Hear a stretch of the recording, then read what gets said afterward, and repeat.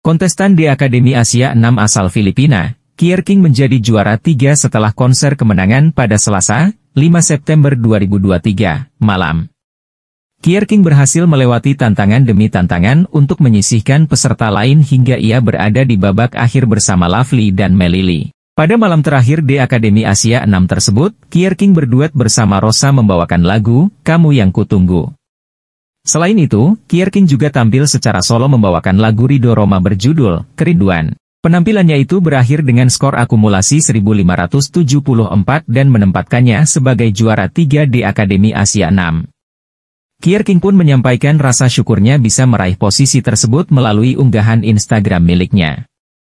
Impian memang menjadi kenyataan, kata Kier King membuka pesannya. Dikutip pada Rabu, 6 September 2023. Penyanyi berusia 25 tahun mengaku bahwa selama ini ia berdoa dan bekerja keras untuk bisa meraih karir yang kini ia jalani.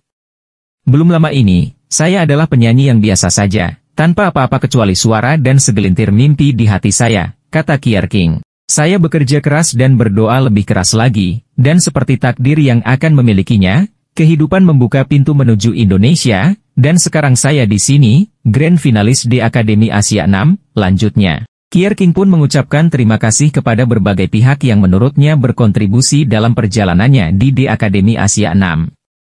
Saya dipenuhi dengan ucapan syukur kepada Tuhan karena memberkati saya dengan tonggak dan perjalanan yang luar biasa ini, ungkap Kier King.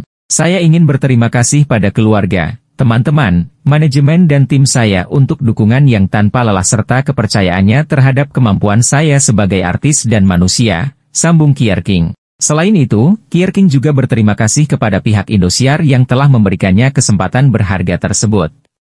Saya ingin mengucapkan terima kasih sebesar-besarnya pada Indosiar, Dangdut Akademi, juri, dan para kontestan untuk perjalanan indah ini, ucapnya. Dan menjadi wadah Utnuk mengenalkan suara dan instrumen saya kepada para penonton yang telah merangkul saya secara hangat, untuk mempersilahkan kami berkembang secara musik dan seni selama kompetisi, sambungnya. Lebih lanjut, Kier King juga mengungkap perasaan bersyukurnya pada para supporter dan fansnya yang selama ini telah mendukungnya. Terakhir, saya ingin berterima kasih pada supporter, teman, dan Kingsters atas cinta dan dukungan mereka yang sempurna dan tidak pernah berubah, tutur Kier King.